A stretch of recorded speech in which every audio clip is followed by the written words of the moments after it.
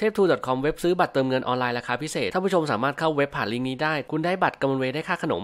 สวัสดีครับกลับมาเจอกันอีกครั้งนะครับ ผมไอจาก YouTube กำมลเวนะครับวันนี้นะครับในที่สุดก็เข้ามาแล้วนะฮะกับระบบตั้งร้านออฟไลน์นั่นเองนะฮะซึ่งเดี๋ยวเราจะพาไปทำกันนะครับวิธีทำนะครับให้มาที่เมืองอัลเบอร์ตานะครับตรงด้านล่างซ้าย ตรงที่เป็นสมาคมพ่อค้านั่นแหละนะครับเดินเข้าไปด้านในนะฮะเดี๋ยวกระดึบกระดึบก่อนนะครับบอกเลยว่า quest นี้ทำได้เลเวล40 ขึ้นไปนะฮะ ขึ้นไปโอ้โหอัปเกรดกันลืมล่ำลืมล่ำเมื่อเดินเข้ามานะฮะเดินลงไปด้านล่างนะครับปุ๊บจะเจอ NPC ใหม่ 3 ตัวนะฮะ NPC ตัวที่รับ quest ทำตัวตั้งร้านออฟไลน์เนี่ยคือตัวนี้ครับผมตัวกลางมาชานะฮะแต่ก่อนอื่นนะครับแนะนำก่อนว่าการตั้งร้านออฟไลน์เนี่ยมีอยู่3เลเวลด้วยกันนะฮะ ซึ่งทั้ง3เลเวลเนี่ยแตกต่างกันด้วยจำนวนของที่สามารถตั้งร้านได้นะครับ ที่เลเวล1เนี่ยมันจะตั้งได้ 3 ชิ้นนะครับผมแล้วก็เลเวล2ใน 4 ชิ้นเลเวล3 5 ชิ้นนะฮะซึ่งทั้ง 3 อันเนี้ยมันจะมี quest ของมันด้วยนะผมคือ quest เนี่ยเราสามารถทำได้ปุ๊บและ 7 วันมาทำได้ก็คือทุก ๆ 7 วันอะจะทำ quest ฟรีได้นะผมเอาใบตั้งร้าน 1 ใบนะฮะแต่มันสามารถเสียตังค์ซื้อได้นะ นี่ครับผมคุยปุ๊บ นี่ถ้ารับ quest ก็คือเนี่ยหนึ่งสองสามนะครับ แล้วก็แก้ปัญหาด้วยเงินก็คือซื้อเลยนะฮะ นี่ถ้าซื้อก็ซื้ออันนี้นะผม ซึ่งมันจะมี 2 อันเห็นไหมว่าเป็น vending กับตัว buying นะครับผม vending คือการตั้งร้านปกติครับผม ส่วน buying คือตั้งร้านรับของนะครับ แบบนี้ vending มันคืออันนี้ครับผม ก็คือ vending เนี่ยก็ตั้งร้านปกติแล้วก็ออฟไลน์ไปนะครับ buying เนี่ยก็จะเป็นอีกอันหนึ่งนะครับผม ก็จะเป็นคล้ายๆแบบนี้แหละนะครับ แต่เป็นตั้งร้านรับซื้อของแบบออฟไลน์นะฮะ อ่าแล้วก็บอกไว้ก่อนนะครับ quest เนี่ยมันมี 3 ระดับนะผม quest ระดับแรก quest พื้นฐานนะครับจะเป็น quest ที่ให้เราไปส่งของตามเมืองต่างๆนะครับส่วนเควสเลเวลสเป็นเควสหาย BC ตามที่ต่างๆนะครับส่วนอันที่3เนี่ยเป็น quest ล่ามอนสเตอร์นะครับซึ่งมีคนบอกว่าเอ้ยยิ่งเลเวลสูงยิ่งล่ายากนะครับเดี๋ยวผมลองดูแล้วกันของอาชิมิตเลเวล84 นะครับผมปุ๊บมันบอกว่าสามารถเลือกได้ว่าจะเอาอะไรนะผม แต่ยากหน่อยนะ เจ้าต้องไป Bio Lab เดี๋ยวนี่ 84 ใช้ตบ Bio Lab เนี่ยนะ ตบซีซิลเดมอน3 ตัว GM ครับ ไม่ปรับระดับความยากตามเลเวลคนหน่อยแล้วครับ ไป Bio Lab 84 ตบ Bio Lab เนี่ยนะ เราจะทำแบบใช้เงินแล้วกันนะครับผม ส่วน quest เนี่ย ก็ลองไปดูแล้วกันนะครับผมบอกเลยว่า quest อันที่ 3 นี่โคตรยากนะฮะ มา เรามาลองแก้ปัญหาด้วยเงินกันนะครับผม ซื้อ vending 1เลเวล1นะครับผมบอกเลยว่าแต่ละอันราคาโหดมากนะครับ คือเลเวล1เนี่ยห้าแสนนะครับผม เลเวล2 1เลเวล2 1ล้าน เลเวล3 1ล้าน5นะครับผม ซึ่งไม่รู้เหมือนกันว่าทำไม GM ตั้งราคานี้ขึ้นมานะครับ เพราะการตั้งร้านออฟไลน์เนี่ย มันมีขึ้นเพื่อลดปริมาณผู้เล่นในเมือง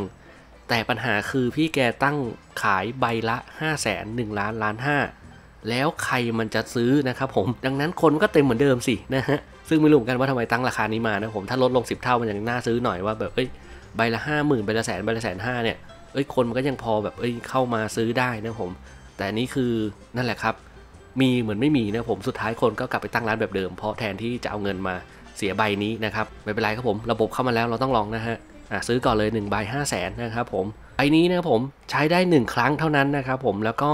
เวลาตั้งร้านเสร็จเนี่ยเราจะมีระยะเวลา 24 ชั่วโมงนะครับจนกว่าร้านของจะหมด หรือว่าร้านปิดไปเองใน 24 ชั่วโมงนะครับแล้วก็ EPC ข้างๆ กันนะผม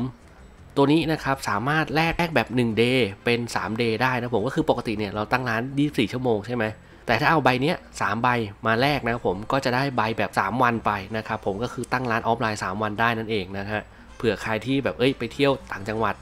เสาร์อาทิตย์อะไรอย่างเงี้ยก็ตั้งร้านออฟไลน์ไปเลยครับผม 3 วันนะครับ ก็สามารถมาทำได้ที่ตัวนี้ตัวนี้เป็นตัวแรกของนะครับ มาเดี๋ยวเราไปตั้งร้านข้างนอกกันนะครับ วิธีตั้งร้านนะผมดับเบิลคลิกนะฮะปุ๊บเราจะได้ใบนี้มา Vending Part Time นะครับผมหมดอายุ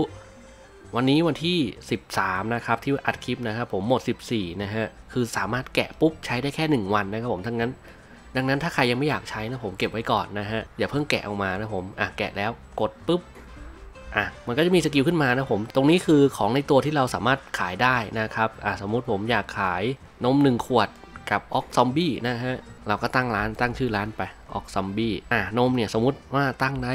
100 เซนนี่นะครับผมส่วนออกซอมบี้นะครับผม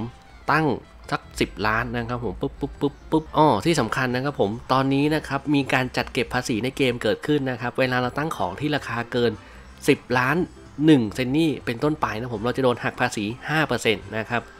ซึ่งอันนี้แหละครับผมก็ใครจะตั้งเกิน 10ล้านก็คิดดีๆ แต่ไม่ต้องกลัวครับผมเราไม่ได้จ่ายทันทีนะ จนกว่าของมันจะขายได้แล้วอะเราถึงจะเสียภาษี 5%นะครับคือมันหักเข้าระบบไปเลยนะครับก็เป็นวิธีการลดเงินเฟ้ออย่างหนึ่งนะครับผมเห็นไหมว่าเนี่ยสิล้านเนี่ย10ล้าน 1 ได้9ล้าน5นะผมแต่ถ้า 10 ล้านเป๊ะเนี่ยจะได้ 10 ล้านนะครับ อ่าแล้วก็ที่สำคัญนะผมมันมีอีกระบบหนึ่งที่ชอบมากก็คือตัวเลขมีสีแล้วนะครับ10ล้านเซนนี่ใช่ไหมใช่อ่าใช่อ่าเมื่อกี้ที่ตกลงนั่นคือ ถามว่าราคา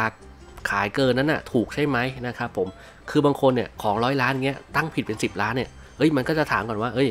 ของเกิน10 ล้านนะ ตั้งราคาถูกแล้วใช่ไหม อันนี้ถือว่าเป็นระบบที่ดีนะครับ ส่วนอันนี้ครับผมคือการตั้งสีในตัวเลขนะครับผมเห็นไหมเลขหนึ่งนะครับผมหลักหน่วยเนี่ยก็จะเป็นสีน้ำออกน้ำเงินน้ำเงินหน่อยนะผมอะสีน้ำเงินเข้มเลยนะครับผมปุ๊บเห็นปะ